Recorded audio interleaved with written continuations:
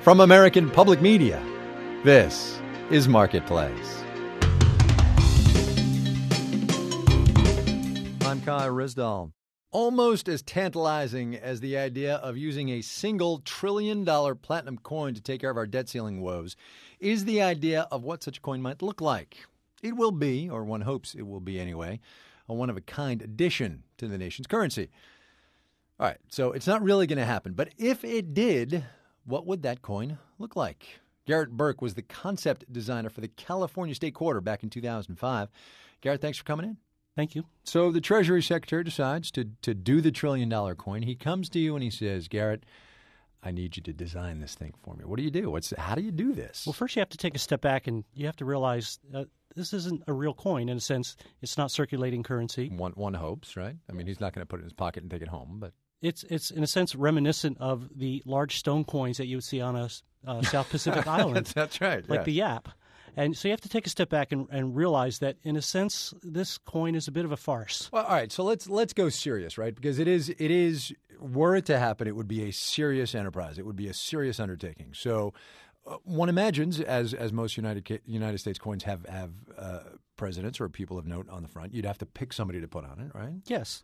Okay. Well, difficult because there's no one person of the American government Yeah. that I could say would represent it. However, there is a person through history. You have to look at this as a history. A, a coin is a time capsule. And I think the appropriate person would be Charles Ponzi. that is the only person who I could. Rep- but that was pretty good, man. but done in a very representational way. Perhaps uh, he's standing on a street corner and there's a, a, a portrait of him maybe speaking with some potential investors. Yeah. Uh, so Charles Ponzi would be one person that would make Yep. sense for me.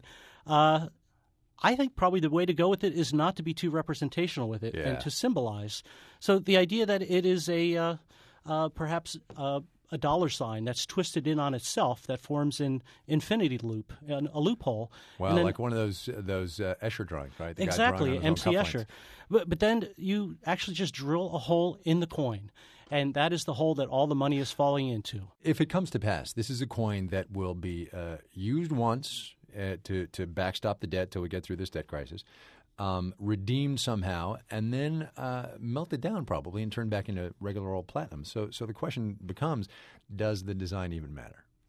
Always, the design Always. always, matters, and the design on this, if if we look at it in a classical sense, who would it be? Because coins have their their roots in Greek and Roman times.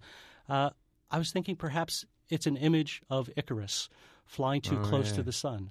And that could be a beautiful Art Deco type of representation, but also symbolizing the idea of the symbol of arrogance and the consequence of unbridled ambition. You guys can go totally crazy with the symbolism, right? Well, that's what coins is. Uh, if you look at a coin, it, right inside the word coin is icon, I C O N. A coin is a symbol. So when you pick out any pocket change, you have some representation of our daily life as citizens of the United States.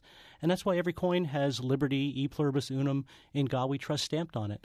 So the design of the coin, what it says, the mottos, they really do matter. A- And this one will say one trillion dollars too. Uh, well, I would not put one trillion dollars on it. I would leave the option over open that it could be a quadrillion coin at some point. Yeah, because that'll that'll that's a debt crisis we don't even want to deal with. Yes. Ga- Garrett Burke, if you have seen uh, the California State Quarter with John Muir uh, in Yosemite, uh, you know his work. Thanks very much for coming. Pleasure, Kai. Thank you.